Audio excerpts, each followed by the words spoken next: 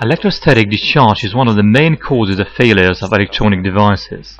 The first protection measure against static electricity when working with electronic components, boards and devices is using an anti-static wrist strap, and we will review the WS11 wrist strap produced under the Goot brand as an example.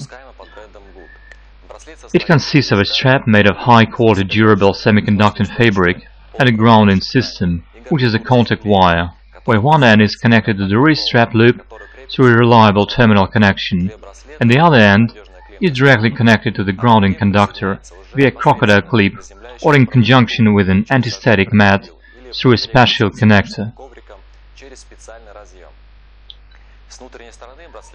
Highly dense conductive fabric is woven into the strap ensuring the skin contact even under small pressure that can be controlled by changing the strap length.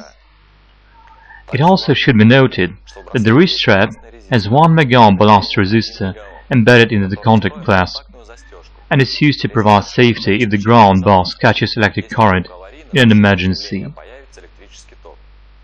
Many people do not like to work with an anti-static wrist strap, finding it a bit uncomfortable, but as the experience of production and repair of electronic equipment shows, the anti-static equipment on the workbench should be accepted as a norm.